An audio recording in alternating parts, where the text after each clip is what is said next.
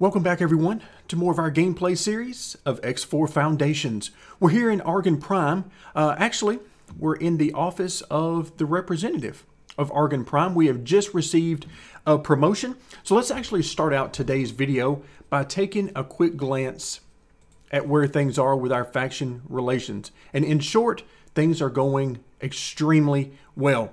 You see at the top, Antigone Republic at a 12 Argon Federation, plus 11. So we just recently got to a plus 10 with them. And then the Segaris Pioneers, 17. Terran Protectorate, 15. So our plan to use mining to have good inroads with uh, both the Terran Protectorate and the Segaris Pioneers has worked beautifully. And then Teladi, we're at a plus 14. Remember, our next goal after a plus 10 is a plus 20. Now, we do have a few more factions that I want to get to at least plus 10 and eventually plus 20 as well. And that is the HOP and the Paranid. And the reason for that is I want to pick up a few blueprints from them uh, in the long term for ships and maybe a few items uh, such as their engines and, and that kind of thing. Uh, so I do want to continue working with these guys as well, but Teladi's going great. Both of the Terran factions are going great. And then, of course, Antigone Republic and the Argon Federation also going extremely well. So now let's back out a little bit and let's take a look at where we are with our property owned. So I have been working very hard at expanding our fleet. We now have more traders than we had before. We have a lot more miners. I've added more silicone miners, more ore miners, hydrogen, you name it. I've been adding them in until we are really mining everything. I've also attempted to open up uh, and start mining the what we'll call the default map uh, instead of restricting all of our mining attempts down here to more of the Terran area. Uh, I've tried to expand out into some of the other areas as well. And then eventually we're going to add some uh, miners of our own for our stations. But things have been going extremely well. The one downside that I have really seen is that our Navidium mining has all but disappeared. Uh, you can see we do not have any Navidium mining fleets up here. We only have one remaining Navidium miner, and that's because the AI for the miners is just anything but intelligent uh, in, in a few different ways. So what's been happening, and I have purposefully not uh, done anything about this just so that I could show you guys sort of how this flows if you're new to X4. So essentially what's been happening is one of the favorite areas, let me see if I can find it. I have to remember where it's at now. But essentially, oh, here we go. Uh, down here in Pious Mists 11, the favorite destination for our Navidium miners is to go down here into this area and beyond in order to uh, mine. However, all three of them that have been killed so far have been killed in this area. And look why. Now you might say, oh, well, they got caught in a bad area. Well, you would think there would be some sort of communication that would say, hey, maybe we don't go to this area, or maybe we start looking elsewhere in this sector that's closer to some of these stations, which could potentially provide an outlet. Should we get attacked, we could simply run to one of these stations and at least dock for the time being, if nothing else. But nope, they don't listen at all, so they have continuously gone back to this area. In fact, you can see, let's see, where is this guy? Oh yeah, he's gone way out here. You can see, I mean, he is way outside the uh, normal area right now, but no worries. These things will expand into deep space, basically, basically as far as you want them to, unless they happen to be nearby another sector. Uh, but yeah, so they just don't listen. And there are a few things that I might be able to do to to take care of that, but essentially there's not a lot I can do for a long-term plan other than babysitting them manually, which I have no interest in doing. So that's how the Navidium mining is going. It wasn't a huge operation to begin with, but it's a nice perk to have, and it is some nice income along the way to have as well. But it is almost gone, and I matter, imagine it's a matter of time uh, until this guy is going to run into uh, some issues and he'll be destroyed as well. But by far and away, the biggest thing I want to show you guys in today's video and our focus today is back over here in Silent Witness. We have a new station. All right, so I've been doing some work on the HQ. If you uh, remember, if we go into the research here, the HQ needed storage. And for right now, it needed uh, container storage because we need advanced electronics and energy cells for our basic teleportation research. And this research, I believe, will allow us to teleport within the same sector to some different ships, but not outside of that. And then, as our range continues, we will be able to ultimately teleport to any ship anywhere on the map. But for right now, this is how we're getting started. And I managed to get the storage built there. I actually put some solid storage as well as container storage because a little bit later on, I believe we're going to need some Navidium uh, for some of this research if memory serves. So I went ahead and put some of that on there as well. So we should be in good shape. We now have, uh, at our HQ, we have a budget of a million credits that I have placed there. And our manager should use that budget to uh, go ahead and acquire these resources. If not, there is another way that they will be acquired, and we'll get to that in just a moment. But first, I want to show you guys our energy cell factory. In fact, you see we have an upkeep mission to acquire a manager. So we'll take care of that here uh, momentarily. So this is our energy cell factory. This is the very first factory that I wanted to put down. Now, it's not quite operational yet, the fact that we have the upkeep mission simply means that we have somewhere to dock. And so if we scroll in a little bit, you can see we have our dock here, and then all of this is storage. This is all container storage. So to give you an idea of what this is going to be ultimately, let's go ahead and plan our build. So I'll show you guys, this is the game plan right now. And all of the stuff that looks solid, that's the stuff that's already been built. And then this is what's going to be worked on next. These are the energy cells. These are the solar panels that will produce the energy cells. Now, the question comes up, why did I start with this one? Is it because it's the most profitable? No. It's because it's the basis for all of our needs. All of the stations that you're going to have with any sort of production are going to need energy cells.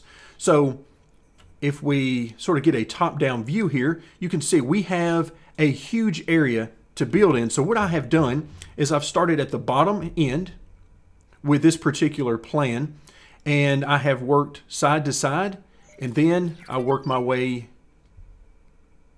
uh, through the next axis until we have eventually used all of the area. So for right now, the plan calls for 15 of these energy cell production modules.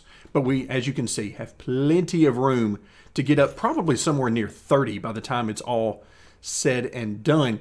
And if we run out of room and we still need more, well, obviously we could build another station or we could simply come in and expand these boundaries. Now, because there is no owner of this particular sector, at least until we get to where we are the owner, uh, we're a little ways away from that at this point. It doesn't cost us anything, so it's no issue whatsoever. But this is the basis of all of our production. That's why I started with this one. Now, in the meantime, until we get our other stations up and running, it will simply be a way to make some additional income. But this is a long-term plan, and it is the very beginning of our long-term plan.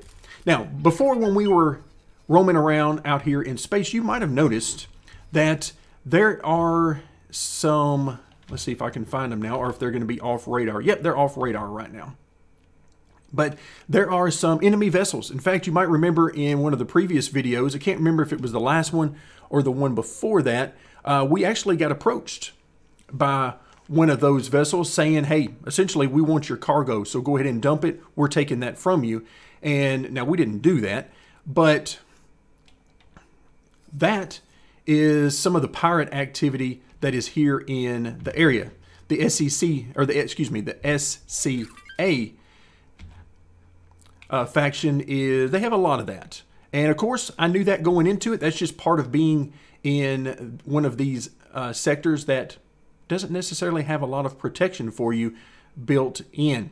But you can see there's definitely some activity here, but some of the biggest activity is going to be us as we are going to eventually continue expanding until we can drown all of this other activity out, and then we'll decide what we want to do with the SCA.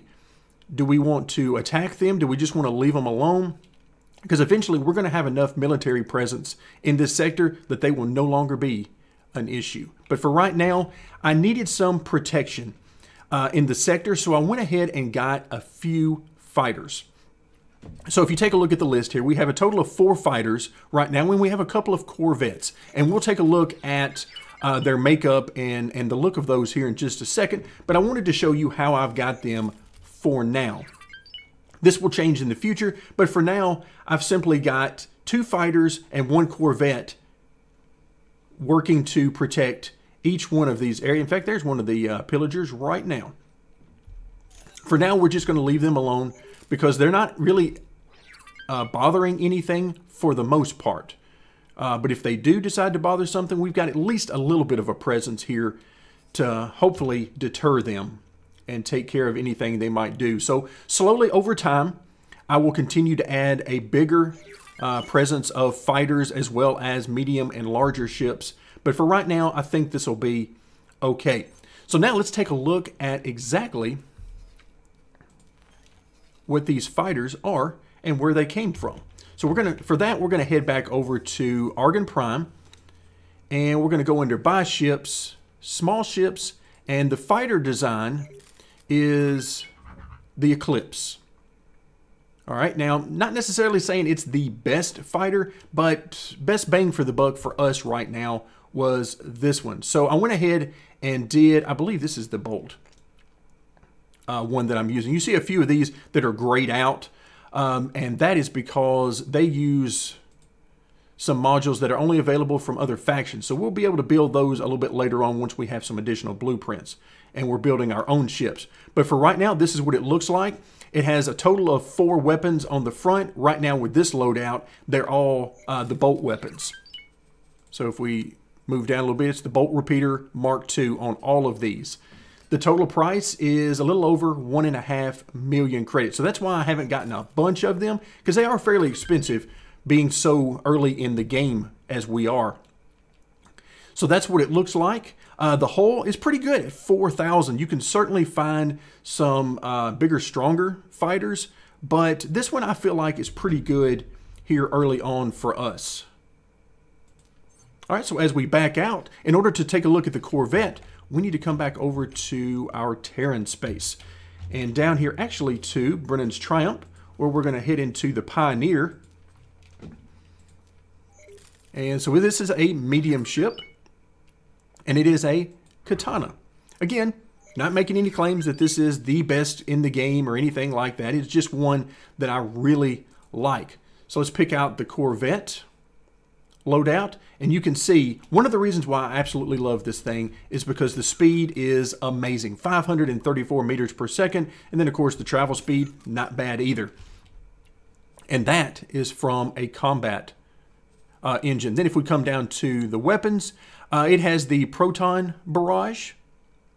And right now, unfortunately, I can only get the Mark 1. I really want a Mark 2 uh, version of this weapon. I'm not sure how effective it is, but essentially this is a bolt weapon for uh, the Terran. That's what this is. Uh, it operates a little bit differently, but that's essentially what you've got. You've got a machine gun on the front of this thing. But I don't have all of them as machine guns. I do have some pulse lasers on here as well. So two of each that are lined up as the weapons. The hull is pretty good at 11,000. Uh, certainly not good as good as a, a frigate, but uh, the shield is pretty good as well. But the speed, I think, is really the biggest bonus here. Uh, it will allow us to travel very quickly and get the job done, or at least that's the hope. So that's, those are the ships that we have to this point. And also right now, I am still purchasing all of our miners and traders over here in Antigone Memorial. And the reason I'm doing that is because I feel like they give us the best bang for our buck right now. Uh, there are some other vessels that certainly do a great job, but I feel like this is simply where I want to be for now. Now we can also order uh, some ships over here in Mars from the Terran Wharf, from the Terran faction. Uh, but at this point, they are very good ships, but they are so expensive. Uh, and I'm looking at expanding our fleet, and cost savings is just where I need it to be right now to continue using uh, Antigone Memorial. So that gives you an idea of where we are right now as far as our current fleet. You can see it is steadily expanding. I would love very much to combine some of these fleets uh, together, but so far it has not worked out uh, too well. I've got some issues that I'm trying to deal with in the fleet management side of things. Uh, in fact, one of the fleets that I made just simply didn't work at all. I mean, and I did it the same way that I've done all of the fleets before, but there's some bugs to work out, and I right now not sure what's causing it, but we'll work through that. But if you do happen to see in the future that we start filling up the unassigned ship portion, that will be why. Uh, because I would certainly prefer to use fleets. Now, the last thing I want to talk about in today's video, uh, actually two more things. Real quick, I want to address the story mission. We'll be getting back to that probably in our next video, but now that we have some additional ships here in the sector, we're going to be able to complete the next story mission, which has us doing some long range scanning, but we needed some additional ships for these three nav beacons, and now we certainly have that option. So we'll get back to that probably next time. Uh, but for now, the final thing in today's video is about our supply ships. So I mentioned this briefly before when we were talking about trading. Uh, this is a different mod you have different mules. It's uh, part of mules and warehouses. And the supply mules are absolutely one of my favorite things in the game. So let's talk about what they do. So I'm going to bring up one of these right quick. And we're going to go over to the behavior tab. And we're just going to take a look at what they do.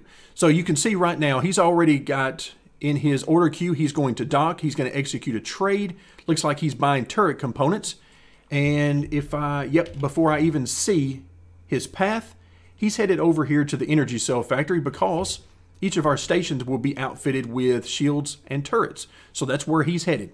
He's headed right over here to the build storage at the energy cell factory to make sure we have all of the components should anybody decide that they want to attack one of our factories. And then if we click on uh, the default behaviors, uh, here you can see we're using the supply mule. So there's a few different options with the different mules that's part of the mod. Okay, we have uh, a travel mule, a station mule, a distribution mule, and a supply mule. All right, and we won't go into huge detail on each one of these, but uh, the station mule is wonderful if you assign it to one of your stations. It will try to sell any of the wares that might be produced by that station or try to gather any of the wares that you need. So it is an excellent mule, but the supply mule is my favorite because as we are constantly working on either building or expanding our stations, the, the supply mules, we assign them a home station or uh, a sector in this case. And so I simply assign them to Silent Witness 11. And when I do that, they will now look and see what any of our stations in this sector need and go and get it. So if we're building a station, they'll look and see what the build storage needs and they will go get it. If we have a station that's up and running and maybe they need some additional supplies uh, for the work staff, or maybe we need some additional components for something, they'll go get it. Right now, we only have three of them. Uh, long term, we'll have at least 10 once we get busy and have a lot more stations because I plan on, depending on how much time we have, because remember, all of this is leading up to the Tides of Avarice DLC. Whenever that gets released and we're able to start doing uh, work with it, then we'll just simply go with it uh, wherever we happen to be at that time. But until then, I'm going to work continuing to expand the number of stations we have in the area. But again, I don't think the SCA is going to be a huge problem going forward.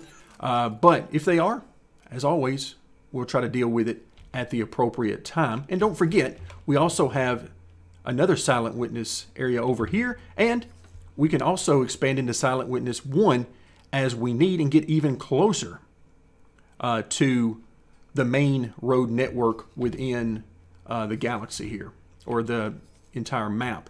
But that is what's going on right now. So what's my plan going forward? Well, I'm going to continue expanding our fleet, but I'm also going to start building some additional stations. Right now is where I'm going to start putting together the framework of our own production. So we have the energy cells. That's job one. Then we're going to get into some other things such as refined metals, which is going to lead us into hull parts. And hull parts are what's always needed to build ships. Every station we go to is out of hull parts or extremely low for hull parts. We've seen it every time that we have tried to expand our fleet. It would generally tell us something like, oh, by the way, you can get these, but it's going to take a while because we're low on hull parts. So we're going to try to take care of that problem once we get to building our own uh, ships because we're going to be making our own hull parts. And we'll expand um, our production as needed. So that is the long range plan. But right now, we're still very much in the early stages. So that's going to do it for today, guys. And I hope you guys are enjoying this as much as I am. This is what gets me excited about X4 Foundations.